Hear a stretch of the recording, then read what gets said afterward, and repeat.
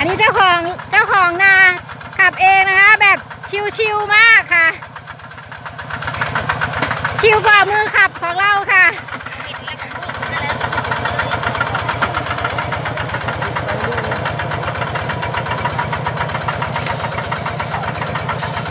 พรุ่งนี้จะให้เจ้าของแปลงขับเองค่ะ เดี๋ยวจะให้เมียเจ้า